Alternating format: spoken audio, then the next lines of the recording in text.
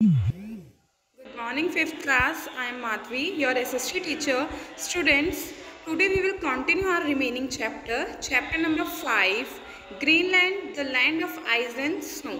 तो बच्चे कल हमने इस चैप्टर की लोकेशन के बारे में पढ़ा था कि लोकेशन क्या है ग्रीनलैंड की एंड देन हम स्टार्ट करते हैं लैंड सरफेस लैंड सरफेस यानी कि वहाँ की जो ज़मीन है वो कैसी है Greenland has a mountainous land surface covered with ice and snow throughout the year. Greenland जो है, वहाँ पे माउंटेनियस लैंड सरफेस है, यानी कि वहाँ पे माउंटेन है, और वहाँ पे पूरे साल भर थ्रू आउट द ईयर वहाँ पे आइस एंड स्नो से वो क्या रहते हैं? कवर रहते हैं। आपने, आपको मैं इस पिक्चर में दिखाती हूँ।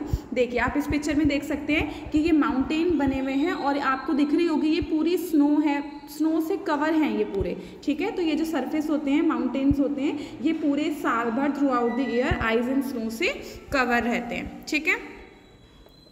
In fact more than four fifth of the the total area of Greenland is permanently covered with ice in snow यानी कि जो हमारा ग्रीनलैंड है, उसका फोर फिफ्थ एरिया जो है टोटल ग्रीनलैंड का, वो परमानेंटली कवर रहता है हमारा आइज़ एंड स्नो से।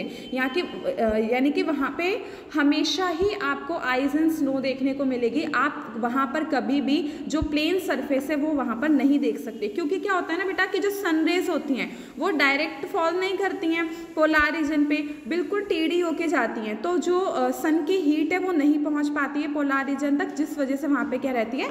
ठंड रहती है। The ice covering is known as ice cap जो आइस कवर होती है माउंटेन uh, जो कवर होते हैं आइस से वो हमारे क्या कहलाते हैं? आइस कैप कहलाते हैं। During spring bits of ice cap break off from the main masses of ice and fall into the ocean अब क्या होता है? स्प्रिंग में क्या होता है? कि जो स्प्रिंग सीज़न होता है, उसमें क्या होता है कि आइस आइस कैप जो होती है, उसका थोड़ा सा टुकड़ा थोड़े थोड़े टुकड़े मेल्ट होके या ब्रेक होके नीचे गिरते हैं और वो कहाँ पे जाके मिल जाते हैं? ओशियन में जाके मिल जाते हैं। These floating blocks of ice is called iceberg अब देखो, जो माउंटेन है तो ऐसा तो है नहीं वो छोटे मोटे होंगे। माउंटेन काफ़ी बड़े बड़े होते हैं तो जब उनमें से बर्फ़ का जो टुकड़ा होता है, जो पीस होता है, वो गिर के जब ओशियन में जाता है तो वहाँ पे जो फ्लोटिंग ब्लॉक्स होते हैं आइस के, वो हमारे क्या कहलाते हैं? आइसबर्ग कहलाते हैं। और आपको पता है, जो आइसबर्ग होते हैं ना, मान लो ये आपका ओशियन है, ठीक है? ये ओशियन है। तो आइसबर्ग जो होते हैं, वो 90 परसेंट आपके ओशियन के नीचे होते हैं और 10 परसेंट ही आपके ओशियन के ऊपर होते हैं। इसलिए जो शिप्स वगैरह होती हैं, उनके लिए काफ़ी डेंजर होता है यहाँ पे, क्योंकि अगर वहाँ से शिप आ रही है तो उसको तो यही दिखेगा ये टेन परसेंट छोटा सा टुकड़ा है, हम निकल जाएँगे। लेकिन नाइन्टी परसेंट जो नीचे है, वो नहीं देख पाते और इसी कारण कई जो शिप्स हैं, वो पानी में डूब जाते हैं। ठीक है? The iceberg are very dangerous to sailing ships जो आइसबर्ग होते हैं, वो बहुत ज़्यादा डेंजरस होते हैं शिप्स के लिए। जो शिप्स वहाँ पे होती हैं पानी में। In 1912 a huge ship name Titanic sank after hitting a huge iceberg आपने वो मूवी भी देखी होगी टाइटैनिक मूवी जो थी। तो 1912 में क्या हुआ था? 1912 में एक बहुत बड़ी शिप थी जिसका नाम था टाइटैनिक वो एक आइसबर्ग के टकराने के कारण क्या हो गई थी? पानी में पूरी तरह से चली गई थी। ठीक है?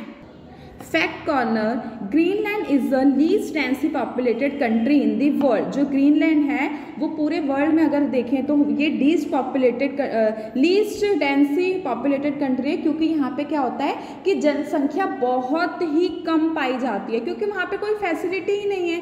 तो क्या कैसे लोग वहाँ पे रहेंगे? आप खुद बताओ ना अगर हम आ, कोई हमें बोलता है कि हमें घर लेना है तो हम ऐसी जगह घर लेंगे जहाँ पे सारी फैसिलिटी हो। ऐसी जगह नहीं लेंगे जहाँ पे हमें कोई फैसिलिटी ना मिले। इसलिए जो ग्रीनलैंड होता है वहाँ पे जो पॉपुलेशन होती है, वो बहुत ही कम मात्रा में होती है।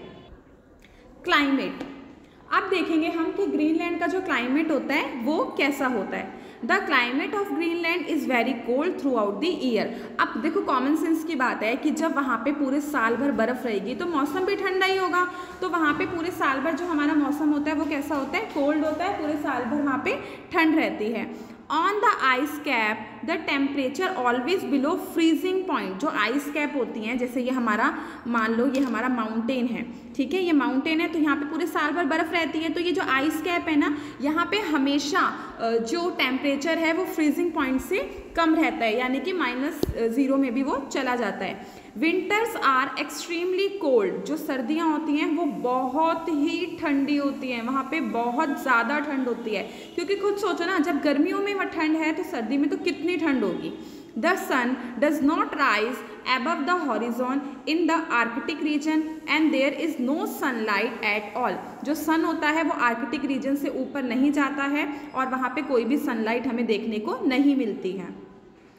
There four there are month of darkness in winter इसीलिए विंटर्स में क्या होता है? विंटर्स के जो मंथ होते हैं, उनको मंथ ऑफ़ डार्कनेस भी कहा जाता है, क्योंकि वहाँ पे अंधेरा रहता है। सन की लाइट पहुँच नहीं पाती इसी कारण वहाँ पे क्या होता है?